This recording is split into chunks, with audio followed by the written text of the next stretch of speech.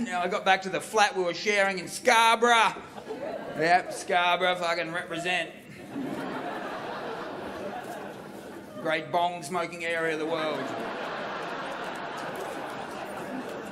Anyway, I got back to the flat that I shared with Rat after my first gig had gone horribly.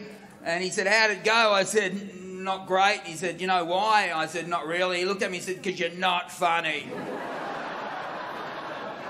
There you go. So, anyway.